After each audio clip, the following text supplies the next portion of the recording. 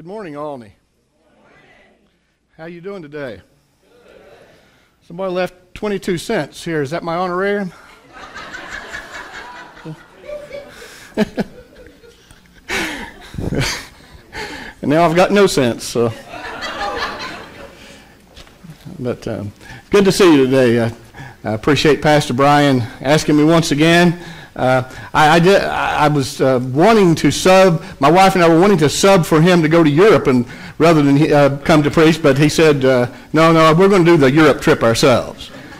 But I love being with you. It's, it's, it's always a great privilege. I've been here 16 years now as a director of missions, and, uh, and it's, always, it's always a joy to be with you. And my good friend Brian, always good to see him and talk with him. And Jon, it's good to see, be with Jon also uh, and working with him. I've worked with him before at our annual meeting at the association, and uh, your music uh, people always do a good job. Appreciate the praise band that uh, sang at our annual meeting. It's just a, uh, a lot of interaction that we've had uh, lately, and our annual meeting at the Montgomery Baptist Association too. was very good. we had our revival three nights along with our annual meeting, and we, we brought in, voted in 10 new churches. That's more than the history of this association ever. And as far as I know, it's, it's, it's uh, more than the history of this whole southern, of, of this state convention, I know. And probably uh, uh, pretty, top, pretty high in the, in the Southern Baptist Convention. Not only that, we've been working with 11 more that are under watch care. So the Lord has blessed with, since last October of last year, about 21 new churches that have been working. It's, it's tremendous, really, uh, how the Lord moves. When the Lord is moving, you just get out of the way and, and try to keep up with what the Lord is doing. Amen. And, and, and, it's good to see the growth here and the good spirit. And uh, it's, always, uh, it's always a joy to come and see how the Lord is blessing you. And uh, Pastor Brian and, and I were talking the other day. He, is, uh, he was asking me questions. He's going to be serving on the General Mission Board. Uh, I know someone called me and asked me about who I thought I could recommend, and I recommended Pastor Brian. I thought that he would do a fine job. The General Mission Board, I served on that four years, and uh, they work with, uh, basically, they're the group that each association has a representation. We have five, uh, the most of any association, and they have about 50, 52, something like that, from a, a, around the whole state convention. And they get together about every four months, and then they, uh, that, they're the ones that approve the, the ministries and business, budget, things like that, to, to bring it to the annual meeting. So, very important position. Let's turn to Matthew chapter uh, 13 today.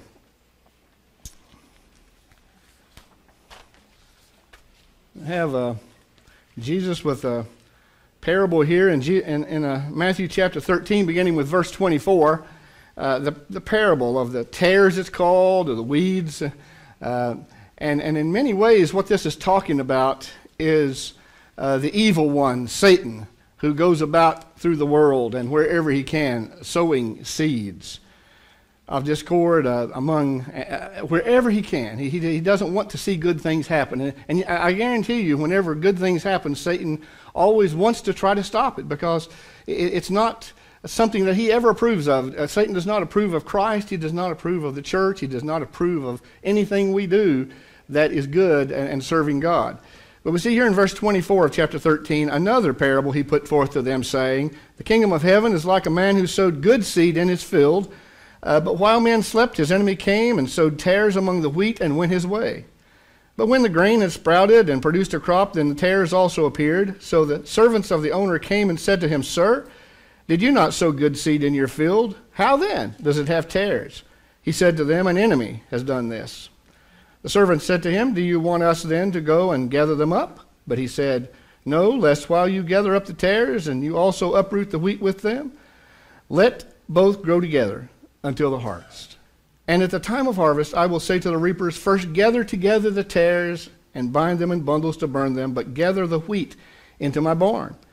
And then in verse 36, uh, then Jesus sent away the multitude away and went into the house, and his disciples came to him saying, Explain to us the parable of the tares of the field. He answered and said to them, He who sows the good seed is the Son of Man.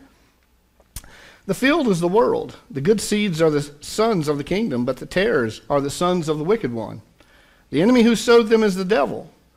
The harvest is the end of the age, and the reapers are the angels. Therefore, as the tares are gathered, and burned in the fire, so it will be at the end of the age. The Son of Man will send out his angels, and they will gather out of his kingdom all that offend and all those who practice lawlessness, and will cast them into the furnace of fire. There will be wailing and gnashing of teeth. Then the righteous will shine forth as the sun in the kingdom of their Father. He who has ears to hear, uh, let him hear. Let's pray. Lord, I thank you for your word, this parable of Jesus that enlightens us, do enlighten us, and help us to understand it as only you can guide us. In Jesus' name, amen. Now, we have this coming uh, weekend one of the most popular holidays, actually, of the year. What is it? Halloween. That's right. And uh, someone asked me this morning, Are you here to preach against Halloween? Uh, no, that's not my point. Just let you know right now. Uh, but let me explain a little bit about the history of Halloween. It goes way back into ancient times. There was a, uh, a festival that, uh, that, that, in the Celtic nation over in Ireland area, in Ireland, and they had a feast of Samhain. And in this feast and festival, people would light bonfire, bonfires, they would wear costumes, uh, they would uh, ward off the evil spirits. These costumes, first of all, was so they would not be recognized by the evil spirits. And, and then also, they could go forth and wear these costumes uh, to, so, that, so that these evil spirits would not recognize them. Now, it was believed at that time that these ghosts that were coming back may be relatives or friends, and uh, they may come back and then it may be evil spirits. So uh, the winter came also. Food supplies got low. Not only would they wear these costumes like this, but there was also a tradition of going out and uh, the poor would gather, would go to door to door and, and, and gather food. Now, later on, England called that All Souls Day, where the poor would go forth and they would uh, ask for food and they, they would give it to them. And uh, then also, they would sometimes in, in England would put food at the door because there was still this concept of the evil spirits that would come, and they would feed the evil spirits so they wouldn't come into their house to get food. Now, you start bringing all of this together, and I could go more deeply into this, but on, in the 8th century, Pope Gregory designated November 1st as All Saints' Day. And I'm sure Pastor Brian, being a historian, has told you some of this before. Uh, he's the best at history. But here they incorporated some of these traditions of Samhain. The evening before was called All Hallows Eve. Now, when they had Halloween, when the evil spirits were coming and all that, the Christians saw this as a time where they could oppose the evil spirits. Now, how, how did the modern concepts and customs of Halloween sort of uh, come into being? Well, like a lot of things, they sort of changed and morphed over the centuries. And now uh, there, there's a variety of costumes. And, and some churches even choose to do that, like you're doing the trunk or treat, which is very good, the, the community celebration, children laughing celebration. There, there's nothing wrong with that. And I don't have any problem with, uh, with dressing up. I mean, one year I dressed up like Elvis. Another year I dressed up like Bill Clinton. That was funny. And you just never know, and it's kind of fun. But somewhere along the way, how did the concept of evil and uh, gore and this gruesomeness uh, get into this? Anton LaVey, actually, in the 20th century, formed the Church of Satan in the mid 20th century, and he stipulated and, and he set aside Halloween as a satanic day. This was not, not Christians that did this.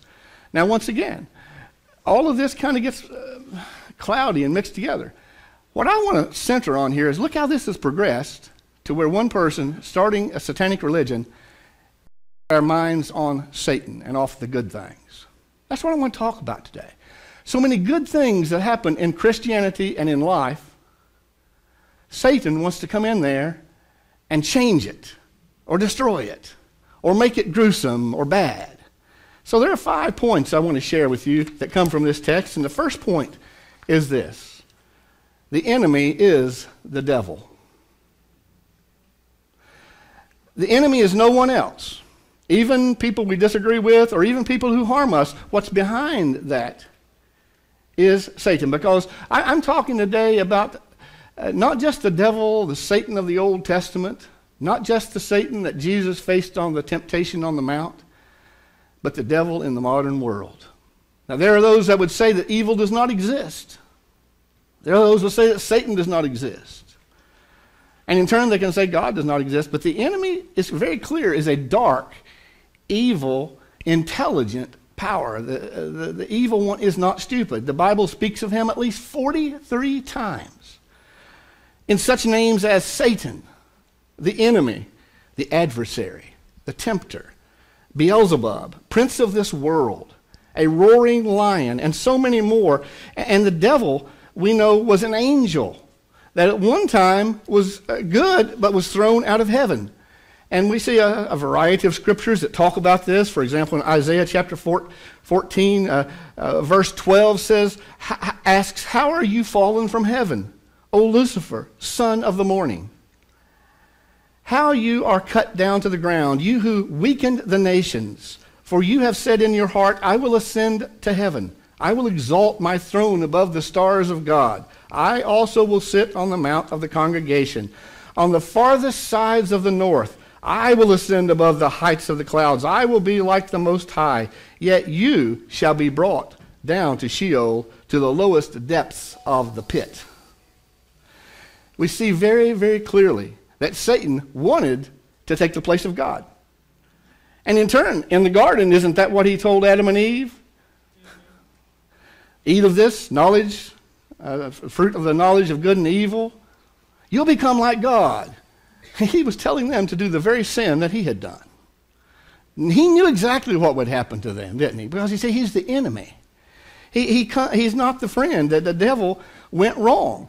And, and we see very clearly that the, the devil, yes, does roam this world. In Job, we see whenever uh, he came and talked to God, which showed that God was still sovereign.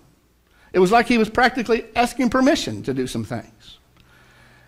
And he said he'd been going to uh, uh, here and there, uh, to this place and that place, really uh, sowing havoc, like it in this parable here, casting weeds into good uh, soil, and into whatever soil he could. But we see here that the devil's goal is to do nothing but to alienate you from God. If he can alienate you from God, he alienates you from your family, from friends, from good works, from everything else in your life. Because you see, the devil's goal is to destroy us. The, the devil's goal is never good, for he's the enemy. Uh, and the demons of hell are under Satan's control. They seek to destroy God's servants. And I know a lot of movies have been made about that. The series of the, uh, uh, the Omen movies with uh, Damien, who in some sense was a representative of Satan and, and many other movies that, that I could uh, mention that Hollywood has used to produce to tell us how Satan very clearly wants to destroy us. See, but even though he is the enemy, an enemy does not have to defeat us. See, he, the enemy is the devil. But we must realize that Jesus Christ defeated him on the cross. But he hasn't quite figured that out yet, has he? I had this reoccurring dream when I was a kid even into my adult years, for a number of years, that especially if I'd watch one of these, uh, uh, you, you, remember the old chiller movies with Wolfman and those, kind of, I would watch one, I'd get all scared, I'd go to sleep, and I'd dream that I was dropped into hell. And there I was, and the demons were all around me, the fire was all around me. And then Satan steps out, and you know, uh, being the, uh, not knowing exactly what Satan looked like, I uh, just saw him like normally people would see him. He, he had that red pajama suit, you know, and the tail and the horns and, and the mustache, it went like that. And, uh, and he let me know very clearly he was going to kill me in that dream. But I remember what I was told that Jesus Christ could defeat any evil. And I reminded him in that dream that, that I was a child of God. He said, That doesn't matter. You're in hell now. And I thought about where Jesus descended into hell to defeat the devil. So I remember in that dream, it was, it was, and it's my dream, I can do whatever I want to in my dream. I grabbed his tail. And I started swinging him around, swinging him around, swinging around, and cast him into his own fire. And he burned. And I woke up and felt better. it felt much better. I was pretty warm at that point, but I felt better. And, and I don't know why, why I was dreaming that over the years. I realize now, many years later, that there was this that Satan had with me of wanting to take my soul. He did not want me to go into the ministry. He did not want me to be used by God.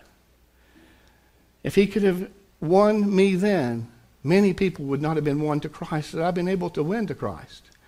So the enemy's the devil. The second thing I would say is the devil sows uh, bad seeds into the, the, the, the, har- the harvest. These, these bad seeds, they turn into weeds. It tells us in uh, verse 25 and 26 that while men slept, his enemy came and sowed tares among the wheat and went his way. But when the grain had sprouted and produced a crop, then the tares also appeared. And then you look down in verse 38, it says, The field is the world. The good seeds are the sons of the kingdom, but the tares are the sons of the wicked one. You see, in the early stages, wheat and tares look the same. It's hard to tell the difference. And it says here that the field is the world. That we're to live out our Christian lives day by day by day in the world, to be in the world but not of the world, to not be like the world. Uh, but Jesus obviously went forth into the world to confront the world with war, hatred, lack of truth, uh, a mad scramble for money and power, lust, selfishness. And a lot of times these get mixed with good. To say, well, you know, we can do these bad things for a good purpose.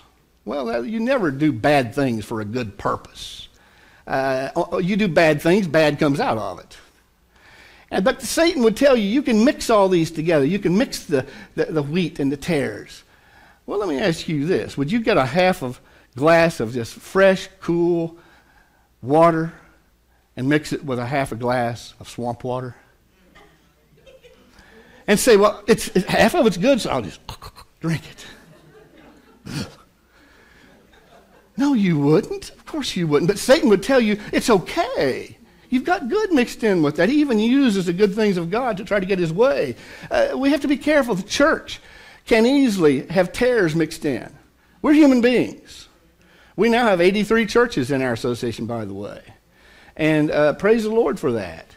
And, and, and you know something? Every church I go to, you know, I find human beings. and you know, wherever you go, wherever I go, I'm still a human being. And I have to guard my heart. You have to guard your heart because sometimes Satan says, uh, cheap grace. Cheap grace. Jesus didn't really die on the cross for you, but I'll give you all the good things you need. Uh, sometimes we, we uh, look for social prestige over serving God. Or sometimes uh, the church becomes a hiding place from the world, and we say, Well, I don't want to deal with anything in the world. Sometimes that leads to a pious self righteousness where uh, we, we can uh, look and say, Well, you know, I am the good one, and everybody else is the bad one, so I, I've got my ticket to heaven, so it doesn't matter. Sometimes the church can have these weeds sowed into it that the church just becomes an institution and, we just try to keep the institution alive. And survival becomes utmost in all of our goals. So you see, we can look how we can, in, whether you're in the world or in the church, you can mix the bad with the good. And when it's intermixed in all of us, we need forgiveness for these evil uh, seeds that Satan sows. For you see, sometimes we don't even realize how these things can grow in our lives.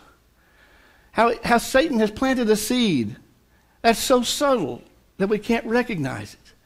I remember Charles Swindoll talked about a, a couple of sisters traveling to Mexico on their way back. They saw what looked like a puppy over in the ditch. So they went over there and they picked it up, and the lady said, Oh, this is, this is a little chihuahua puppy. We need to take him, take care of him. So they took him home, they bathed him, they fed him, they even let him sleep with them. And then they took him over to the vet, and the vet said, Where did you find this? They told him, He said, This is not a chihuahua. This is a, this is a rabid Mexican river rat. Makes you shudder, doesn't it?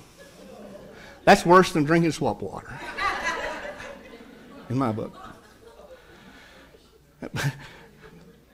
Sometimes we don't even realize that this has happened, do we?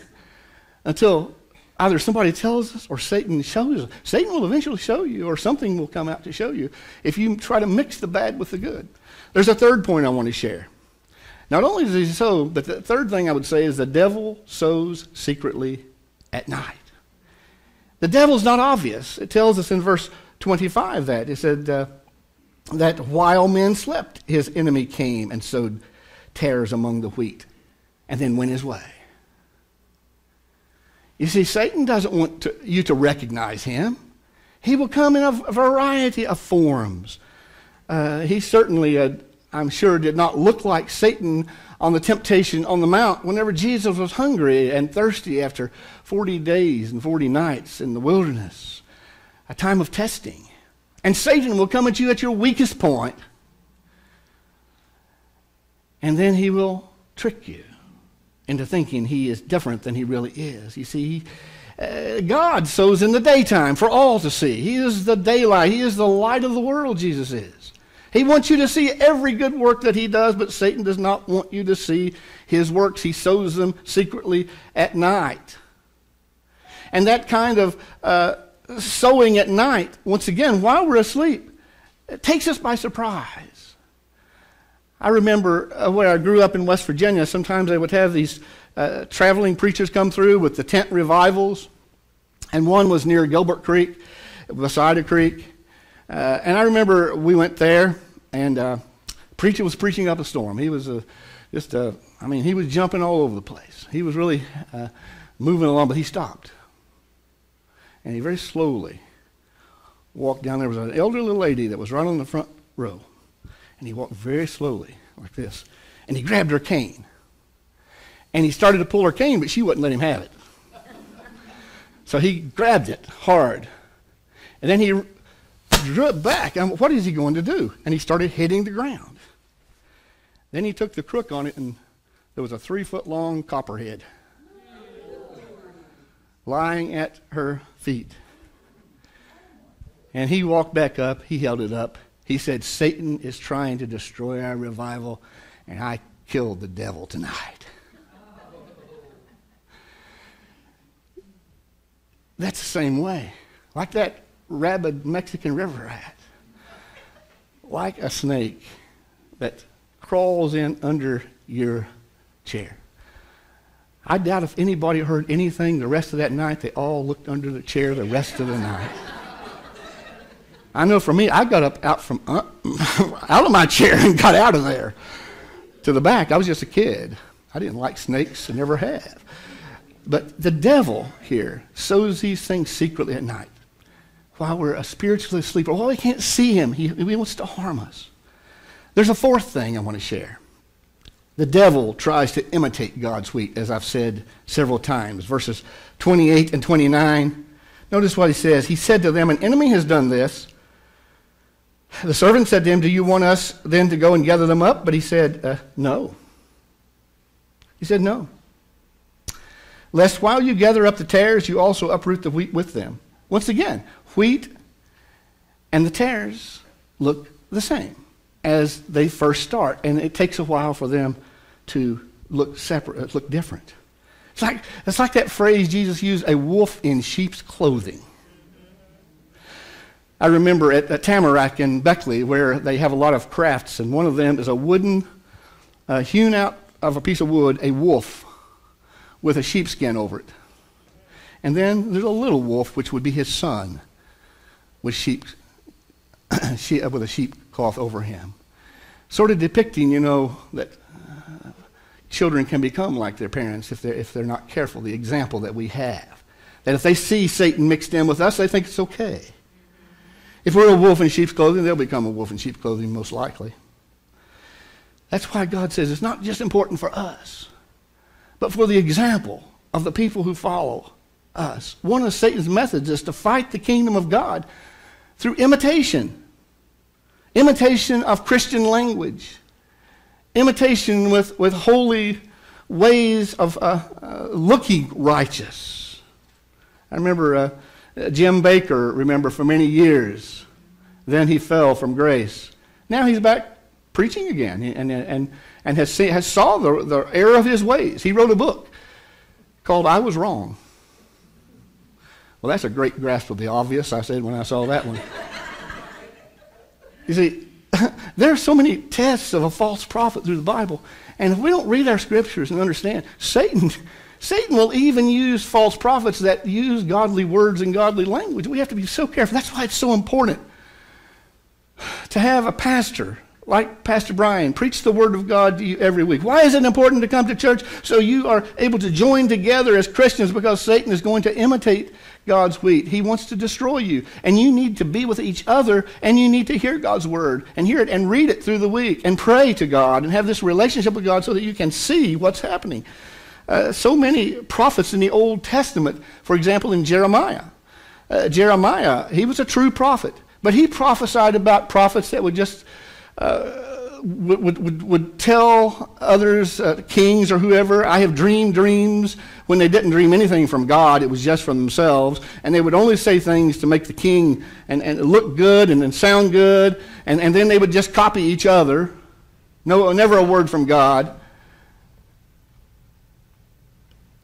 It is so essential and necessary to have a preacher who studies, who brings a sermon that God has given him before he brings it to the people. Not just to go copy somebody else, but to say, this is what God has shown me. And I can tell you, folks, I've been in ministry about 37 years, and I have dealt with evil. I have dealt with sin. I have dealt with Satan. I've looked him in the face. And I know that he is out to destroy me and you. But I am can perfectly be calm in telling you that Satan cannot defeat you. He, he cannot do it. No matter how much he imitates. Now, the Antichrist in Revelation chapter 13, in some sense, will be like an imitation of God. Now, there will be uh, a, really two beasts one that come from the, the sea, which would be the, the political beast, and then one from the land, which would be the, um, the religious beast. And the religious beast would popularize through religion the political beast, and the two would sort of join together. Once again, intermixed religion and politics to a point where now it's okay for Christianity to affect uh, uh, politics, to change that, to change morality, but it's not right whenever the two just became the, become the same. You can't even tell the difference between the two. And, and behind this, we see is, is not, it's not the beasts that have the power, it's the dragon that has the power. And, and it, it tells us there uh, in, Revelation chapter 13, verses 3 and 4. Uh, uh, going back to verse 2, the beast which I saw was like, and it, it, describes a variety of different animals. And I saw one of his heads as if it had been mortally wounded, and his deadly wound was healed, and all the world marveled and followed the beast.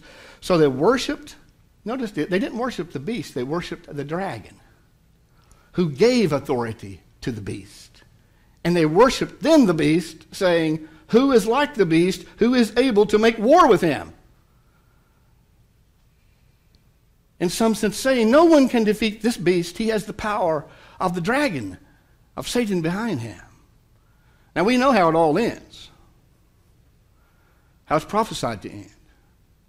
That the day of Armageddon will come whenever evil is running rampant, whenever uh, evil has come in and intermixed with good, and, and you don't, don't know the difference. There will still be those written in the Lamb's Book of Life. And it said to be patient, to wait. Allow God to work. But in the end, Jesus will come back. It depicts him symbolically on a white horse, that being a purity really is what that, and power. And here, all the armies of the world, now get this, not only all the armies of the world now, but really, when you look at this closely, it's all the armies of the world of the past all the way up to the present. Joined together on the field of Armageddon, and they're going to come to fight God. And Jesus comes, and with one word, we don't even know what it was. He used no weapon other than the power of his word, one word, and wiped all of them out. and blood flowed, the scripture tells us, for miles. And when you look at it more closely, when you look at really what it's talking about, you're talking blood flowing about two feet thick, deep, for miles. Because there is nothing that can defeat God. And in the end, that's what's going to happen. Because uh, the, the, the truth of the Word of God will stand. And that leads to the last point, final point, that the devil's weeds will be separated from God's wheat at the last judgment. The devil's weeds will be separated from God's wheat. Verse 30 tells us very clearly. It has some other verses there, but look in particular at verse uh, 30. Let both of them grow together until the harvest. And at the time of harvest, I will say to the reapers, First gather together the tares and bind them in bundles to burn them, but gather the wheat into my barn. Now we see that over in Matthew chapter 25, the sheep and the goats. That one day God will separate. And really, the, the, the, defining factor of who is going to go on one side and who is going to go on the other side is the grace of Jesus Christ. Who has accepted Jesus Christ as personal Savior and Lord? Uh, nothing that they've earned or deserve or are worthy. Only the Lamb is worthy to be praised, is what the Bible tells us. This is a parable for people who are impatient with evil. And that's one of the questions you ask so many times, sometimes by people who don't believe in God. They say, but what about evil? Well, Jesus, Jesus here would recognize yes, there is evil. We live in a fallen world. And as he did in Job's days, he does in our day. He goes here and there trying to sow discord and harm God's people any way he can. But someday the separation of good and evil will come in God's name, in God's time, and in God's way. The last opportunity to, for repentance has not run out. I don't know how long it will be. I don't know when Jesus will come back. I'm not one of these date setters uh, that writes books on it, and then they rewrite the book when it doesn't happen. then they rewrite it a second and third time when it doesn't happen, and duh, you think people would figure it out after a while, wouldn't you? Even Jesus said, Not even the Son of Man knows the, knows, uh, the timing, really, the day or the hour, the, the year, any time. Only God the Father knows. But God is patient. He is wanting to give people time to repent. He is wanting to give us time to witness to people because Satan is destroying lives. And people are accepting Satan when they are not witness to and don't know an alternative. And if you turn away from God, the only alternative, alternative is to accept Satan. No God, only Satan. He made it very clear there is no in between point here. You know, we must, even to the last moment, have this urgency. It's been three years ago uh, this October that uh, my 43 year old sister passed away, uh, Tammy. And we only found out just maybe a couple of months before that that she had cancer. And uh, she and I were talking on the phone, and she had not accepted Christ. I'd told her about Christ before, but she had kind of just pushed it off. I mean, you know, uh, still young, had plenty of time. One day I remember she called me, and we were, I called her, and we were talking. She said, uh, she said, uh, she called me Ronnie. She said, Ronnie, who could I talk to to tell me about how to be saved? And here I told her several times. You know how it is with family. You know, you got to go out and get an expert somewhere else.